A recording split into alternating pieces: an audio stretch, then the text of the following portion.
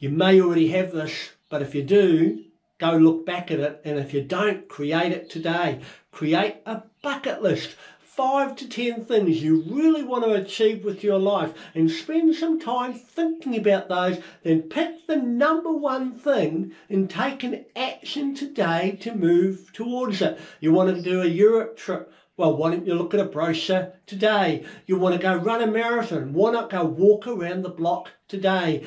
Create a bucket list and then take one action step today to move yourself towards one of the things on your bucket list.